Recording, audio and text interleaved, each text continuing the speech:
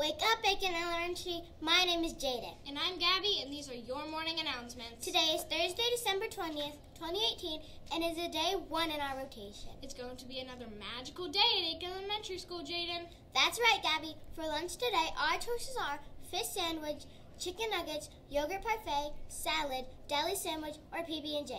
Please make sure you remember your lunch choice. Mr. Thomas would like to encourage all Aiken students to soar to new heights by having self-control, staying on task, always being kind, and being respectful and responsible. Upcoming events. Tomorrow there will be a half day of school, and then we will begin our winter break. Important announcements. Teachers, please remember to complete your attendance and lunch count. And now, a book review from Allie. Hello, I'm Allie, and welcome to Aiken Book Reviews, where students talk about books. I'm a fourth grader in Miss Kessler's homeroom.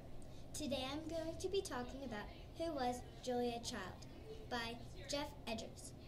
This book is about Julia Child's life from a newborn baby born on August 15, 1912, to her death on August 13, 2004. Julia Child was a professional cook and loved French food.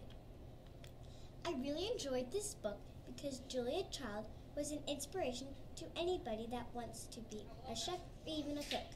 She showed that anything is possible if you put your mind to it. I would give this book five stars out of five stars because she always believed in herself. Even if she messed up, she would keep going. I hope you enjoyed the review of Who Was Julia Child by Geoff Edgers. This book is available in the library. Ask Miss Klein. Thanks for listening. See you next time and keep reading. Fact of the day. The world's largest gingerbread man weighs 466 pounds. If you could please stand and join us for the Pledge of Allegiance. I pledge allegiance.